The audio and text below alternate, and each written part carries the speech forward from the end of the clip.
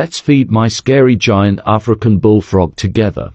His name is Jabba. He's got a mean personality and likes to bite and chase me.